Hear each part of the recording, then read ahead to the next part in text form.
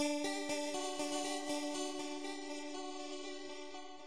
guess what we've tried to do is use products that you can buy off the shelf at the hardware store.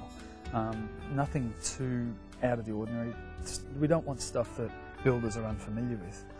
In saying that, there's a couple that were just so good that we had to go away from the off the shelf stuff. Things like straw board panelling.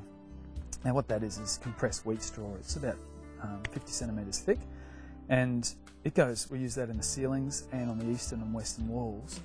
It, it has really good insulation properties, it's cost effective, um, and what it does, it's using a waste product. It looks just like plasterboard when you've got it up on the, on the walls. You can also put it on the outside of the house and it becomes an outside cladding.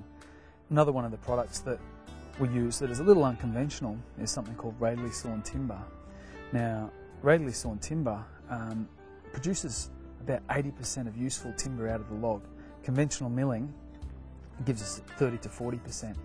Now, the difference is um, a round log, when it's it's cut conventionally, they cut the edges off it and make it into a square log, and then they cut the boards out of it. With the radially sawn timber, what they do, they get a big long log and cut wedges in it. Now, our weatherboards, they come to site in a log. They've got the wedges cut and uh, when it comes to site, the ends of the log is cut off and the weatherboards spring out. Now that's a really cost-effective um, timber to clad your house on, and it's really good for the environment. And we're getting up to 80% of the log as useful timber. We don't use plasterboard in the houses, so there's a huge amount of energy and a huge amount of environmental destruction with um, plasterboard. Now what we've done is look for an alternative. We've come up with a ply product that looks like old VJ walls um, that you find in old Queenslanders.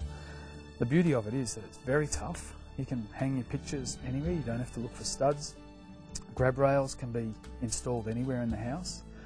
So really good product, long lasting,